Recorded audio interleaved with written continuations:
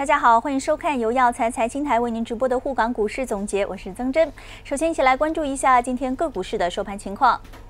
港股方面，恒指今早低开百分之零点二一，开盘之后一度冲高至两万四千五百二十四点，但盘中腾讯涨幅回落，中移动、立丰、周大福等大跌，恒指没能扭跌为升。截止到今天收盘为止，恒生指数涨百分之零点三八，跌九十三点六五点，报两万四千三百七十五点二四点。国际指数涨百分之零点二八，涨三十四点二点，报一万两千一百五十六点四点。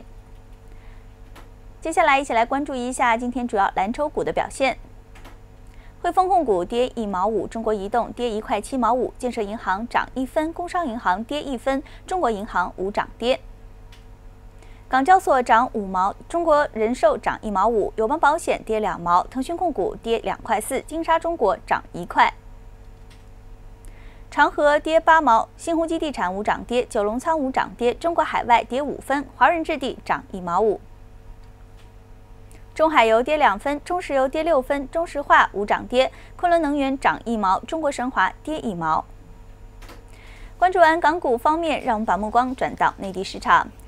周五早盘，创业板高开高走，涨超过百分之二，成功站上了两千二百点，再创历史新高。而盘中券商板块直线拉升，带动沪指走高翻红，再上三千六百点。临近收盘，沪指再度跳水。午后，券商板块集体暴涨，带领大盘走高，沪指拉升涨近百分之一，再创近七年的新高。而成交量方面，沪市成交六千五百一十八亿，深市成交五千一百三十六亿，两市共成交一万一千六百五十。十四亿，连续第四个交易日突破万亿大关，而券商板块早盘盘中直线拉升百分之二，临近收盘再度拉升超过百分之一，午后开盘再度强势拉升，盘中一度涨近百分之九，盘中回落冲高，而收涨百分之五点七六。来看一下，截止到今天收盘为止，A 股的主要情况。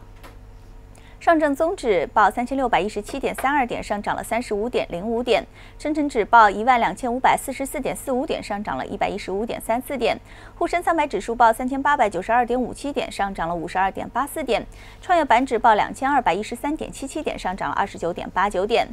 来关注一下 H 股对 A 股的五大折让。浙江世宝折让百分之七十七，东北电器折让百分之七十四，山东墨龙折让百分之七十三，洛阳玻璃股份折让百分之七十三，易铮化纤股份折让百分之七十三。再来关注 H 股对 A 股的五大溢价：万科企业溢价百分之七，江苏宁沪高速溢价百分之二点五，安徽海螺水泥溢价百分之二点四，青岛啤酒股份溢价负的百分之二，工商银行溢价负的百分之四。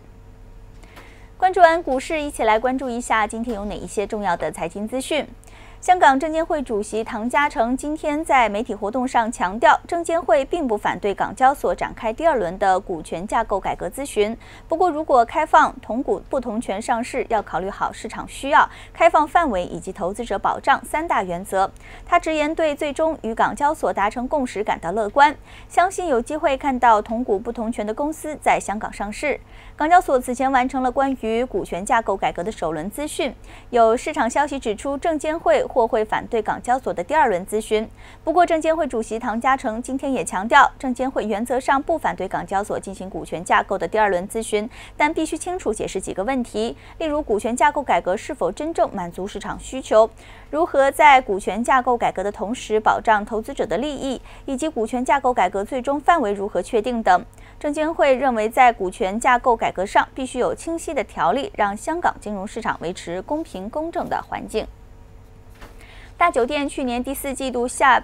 半岛酒店的入住率下跌，当中以香港的跌幅最多，按年跌五个百分点至百分之七十九。亚洲及其他地区入住率跌一个百分点至百分之六十八。美国及欧洲酒店入住率下跌三个百分点至百分之七十一。整体在香港、美国及欧洲的平均房租分别升百分之六及百分之十五。十八期内，出租物业中，除商场出租率按年下跌一个百分点之外，住宅及办公室均上升。办公室出租率甚至升幅更达到了百分之十，而整体每平方尺每月平均收益也上升，升幅介乎于百分之六至百分之十七。